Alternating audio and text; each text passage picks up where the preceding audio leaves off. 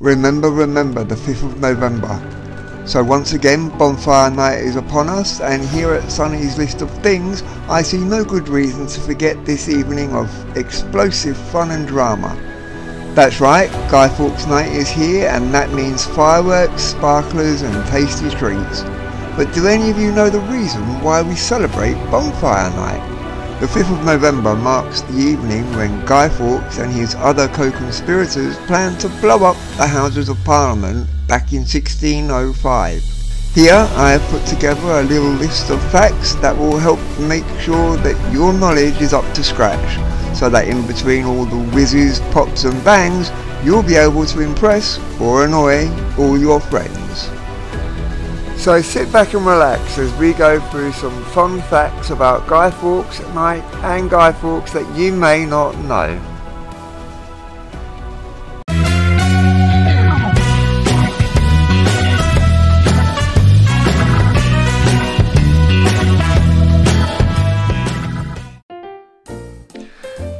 So the first fact is that the gunpowder plot of 1605 was meant to kill the Protestant King James I and replace him with a Catholic Queen. You see, Catholic dissident Guy Fawkes spent months with his 12 co-conspirators planning to blow up King James I of England during the opening of Parliament on the 5th of November 1605. But Guy Fawkes, the one left guarding the 36 barrels of gunpowder in the cellar underneath the Houses of Parliament, was caught red-handed and the assassination attempt was foiled. The plan to take out the Protestant king and replace him with a Catholic queen was over. It was actually Warwickshire-born Robert Catesby who led the gunpowder plot and not Guy Fawkes.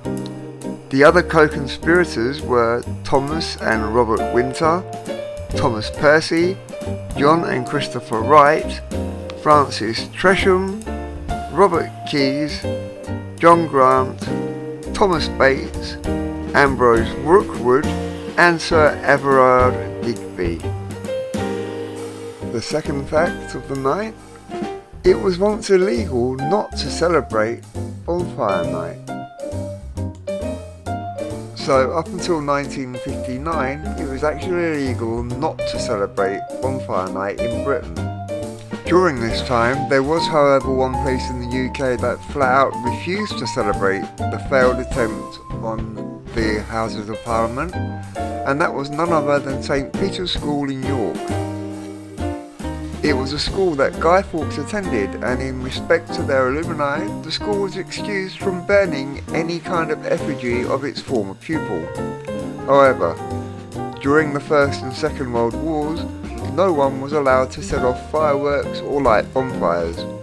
During these periods, Bonfire Night was celebrated indoors to protect the people by not showing the enemy where they were. Fun fact 3 is about the letter that gave it all up. An anonymous letter was sent to Lord Monteagle about the gunpowder plot. It was sent to warn him not to attend Parliament that day and stay safe.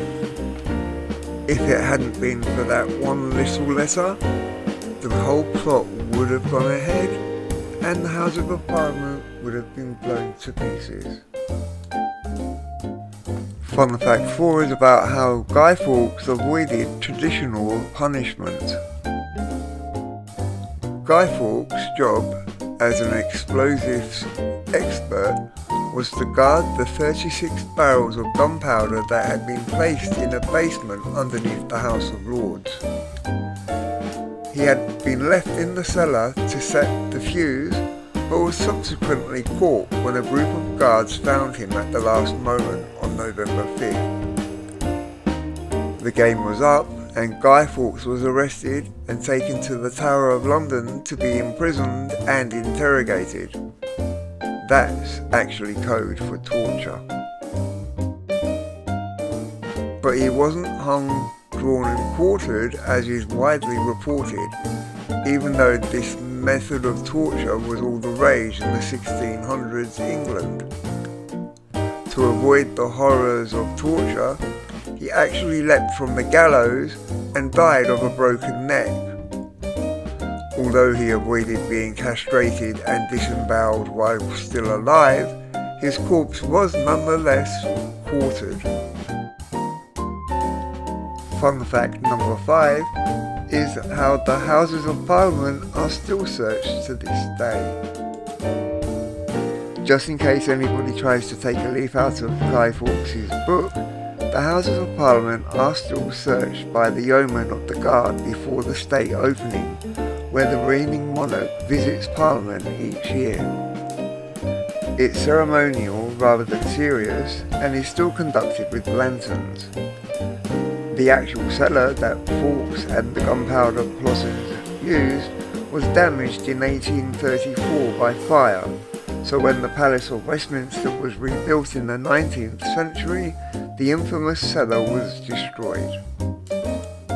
So there you are, 5 fun facts to keep you going through fireworks night. If you have any interesting facts of your own about Bonfire Night, then be sure to let me know down in the comment section.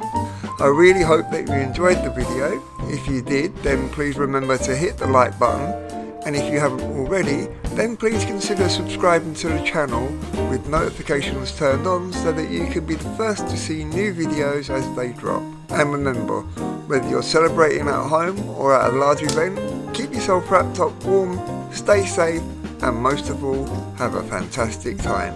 Until next time, see you later.